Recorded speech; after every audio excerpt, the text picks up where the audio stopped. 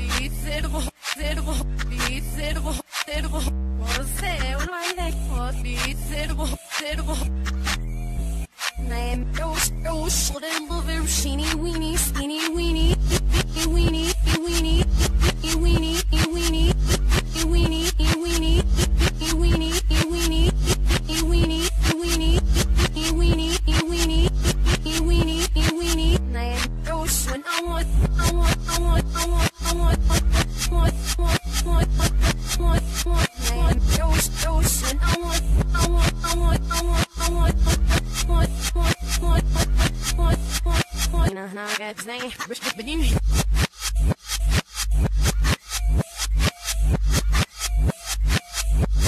be like, pretend it was again.